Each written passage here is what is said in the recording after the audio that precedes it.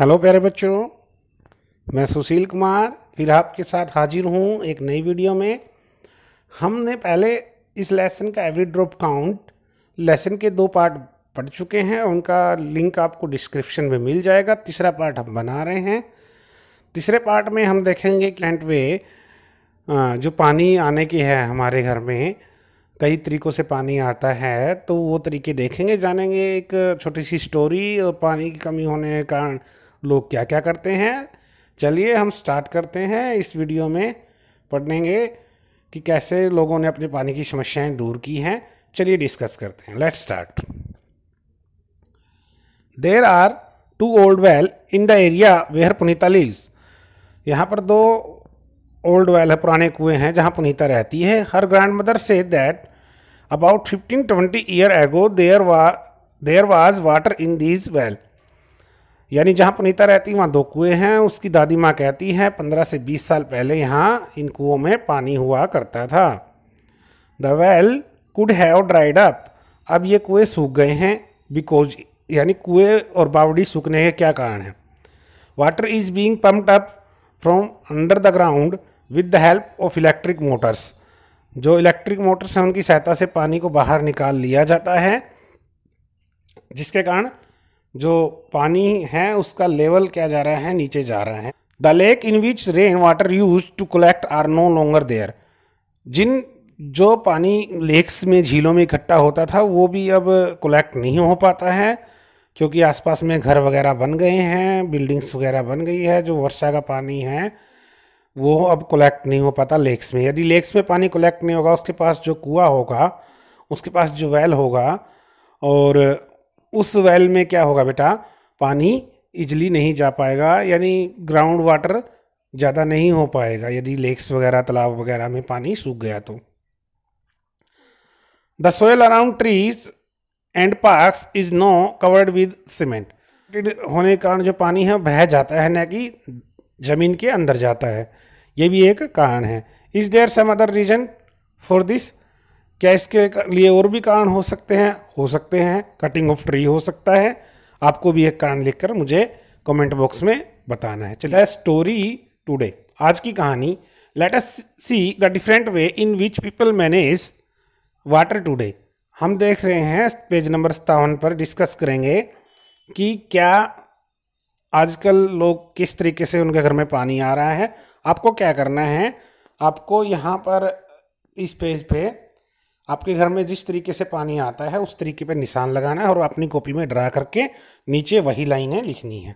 A Jal Board water tanker come to our colony twice day. एक Jal board का tanker हमारी colony में दिन में दो बार आता है। ये टैंकर खड़ा है और लोग इसके आसपास में खड़े हैं।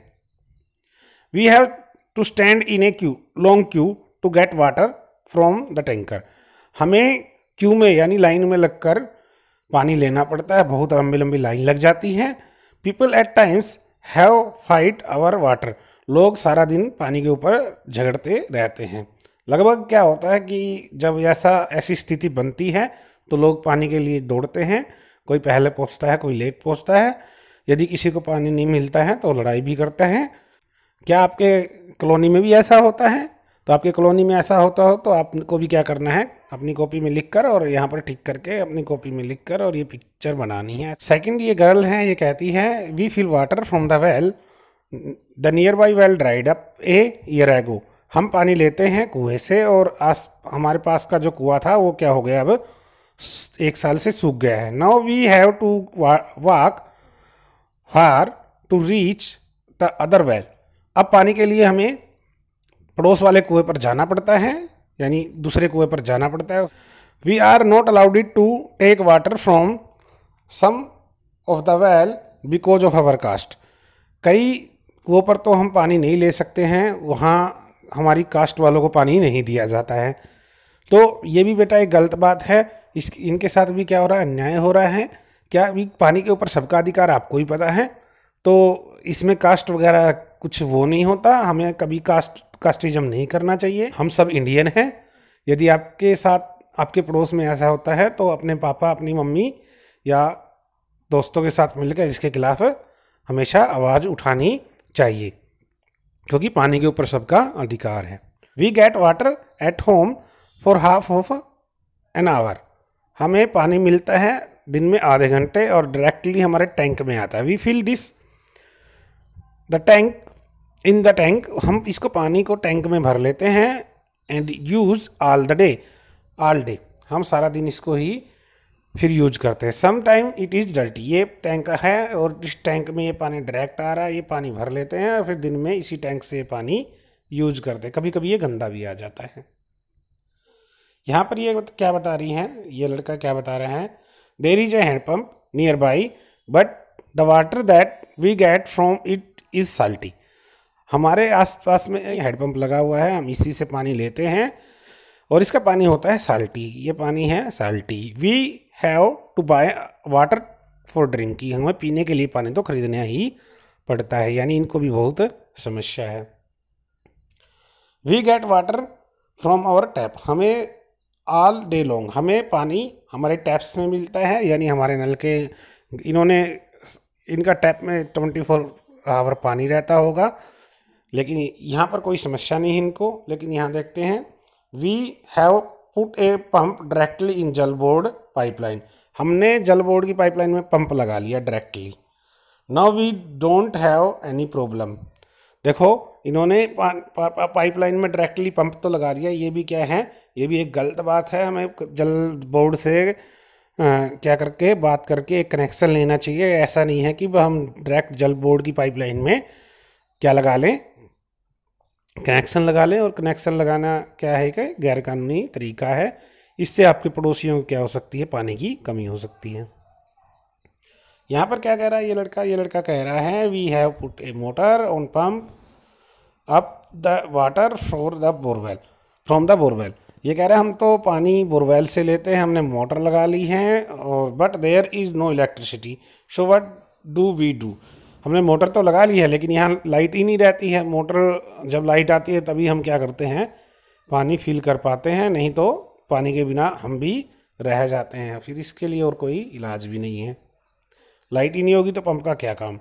यहाँ पर ये लड़की बता रही हैं we get water from the canal it's हम पानी डायरेक्टली कैनल से लेते हैं। यहाँ पर आपको क्या कह रहा है? Everyone has right to live सभी को जीने का अधिकार है yet is everybody getting enough water to live और इनफ वाटर टू ड्रिंक सभी को जीने का अधिकार है और फिर यद्यपि फिर भी लोगों को क्या है, पानी पीने के लिए सबको नहीं मिल पाता। Why is it that some people have to buy drinking water लोग क्या कर रहे हैं, पानी क्यों खरीद रहे हैं पीने के लिए?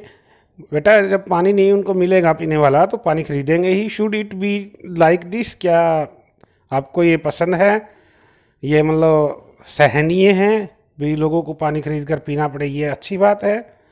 Water on this earth is for all one and all सबका अधिकार है पानी पर, जो पृथ्वी पर जितना पानी है, सबका उसके ऊपर अधिकार है। Some people draw out water from ground by deep borewell कुछ लोग ज़मीन से पानी निकालते हैं गहरे कुएँ खोद कर गहरे मतलब बोरवेल खोद कर how far it is correct यह कि, कितने हद तक सही है? कितने हद तक यह है सही है? Have you ever seen this क्या आपने ऐसा देखा है? Why do some people is pump directly in Jal Board pipeline कुछ लोग जल बोर्ड की पाइपलाइन में डायरेक्ट क्या कर लेते हैं? सेंध लगा लेते हैं।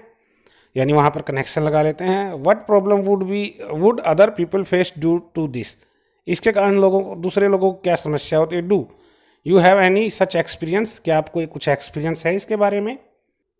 इसके आंसर में लिखेंगे it is true that today everybody is not not getting enough water due to scarcity of drinking water some people have to buy it क्या कह रहे हैं? यह सही है कि आजकल लोगों को क्या है? पीने के लिए पानी उतना नहीं मिल रहा है जितना उनको चाहिए। और फिर पानी की कमी होने के कारण लोगों को क्या पीने का पानी खरीद कर पीना पड़ता है। Think must do be like this some people draw water from the ground by deep boring कुछ लोग क्या करते हैं? बोर खोद कर निकालते हैं। यह एक it is a wrong practice यह एक गलत बात है। It is not only deprives other people of water but also affect the environment गहरे बोरवेल खोद कर पानी निकालना, ये दूसरे लोगों को तो पानी की कमी करता ही है और इन्वायरमेंट को भी नुकसान पहुंचाता है। In my colony many people do this मेरी कॉलोनी में ऐसे लोग ऐसे लोग हैं जो ऐसा करते हैं। Some people also put a pump in Jal Board pipe. कई लोगों ने तो क्या कर रखा है, भी जल बोर्ड की पाइप में ही पानी, वहाँ से पानी लेते हैं due to which other people face security of water इसके कारण क्या होता है जल बोर्ड में के पानी को चोरी करते हैं तो उसमें उससे कारण दूसरे लोगों को पानी की कमी होती है। I also have had such experience मेरा भी कुछ ऐसा ही एक्सपीरियंस है। We often suffer due to such practice by some of our neighbour neighbours ये बता रहा है कि हमारे भी पास में कुछ नेबर हमारे पड़ोसी है। वो ऐसा कर लेते हैं, ये क्या है, एक गलत बात है। यहाँ पर देख रहे हो, एक पानी का बिल, पानी का बिल है जो उस पर कुछ नाम लिखा हुआ है, ये दिल्ली जल बोर्ड से आया है, नीचे लिखा हुआ है दिल्ली सरकार, और यहाँ पर तीन सौ अड़सठ रुपये का बिल आया हुआ है, राउंडेड। यहाँ पर हम देखते हैं टुवार्ड यहाँ पर मेंटेनेंस का भी कुछ खर्च लगा हुआ है तो कई बार क्या होता है, सीवर मेंटेनेंस और पाइपलाइन मेंटेनेंस में उसका भी बिल हमें इसी बिल में मेंटेनेंस का बिल भी देना पड़ता है। ये नाम पे किसके आए हैं? ये नाम आया है मोहम्मद उमर के नाम पे एंड डॉक्टर मोहम्मद सोएब के नाम पे ये बिल आया है। यहाँ पर क्वेश्चन है do you get water bill at home find out from where it is sent क्या आपके घर में भी पानी का बिल आता है और इसे कौन भेजता है? Yes we get water bill at home हम भी बिल प्राप्त करते हैं। जैसे मैं दिल्ली में रहता हूँ तो मैं लिखूँगा यहाँ पर we live in Delhi and so get our bill from Delhi Jal Board और हमें कहाँ से बिल मिलता है पानी का? दिल्ली जल बोर्ड से। यदि हम दिल्ली जल बोर्ड की पाइपलाइन में क्या करेंगे? पाइपलाइन से पानी लेंगे तो वो हमें बिल ज़रूर भेजेंगे। आगे नाइनटीन क्वेश्चन आगे क्वेश्चन है why do you think Delhi सरकार government of Delhi is return under the Delhi Jal Board Delhi जल बोर्ड क्यों लिखा रहता है? दिल्ली दिल्ली सरकार क्यों लिखा रहता है? दिल्ली जल बोर्ड के बिल के नीचे। आपने देखा bill pay Delhi Jal board लिखा हुआ है, दिल्ली सरकार इज़ रिटर्न अंडर दिल्ली जल board because Delhi Jal Board is a subsidiary of Delhi government क्या कहेंगे? गवर्नमेंट ऑफ़ दिल्ली कह सकते हो या फिर दिल्ली गवर्नमेंट की सब्सिडरी है?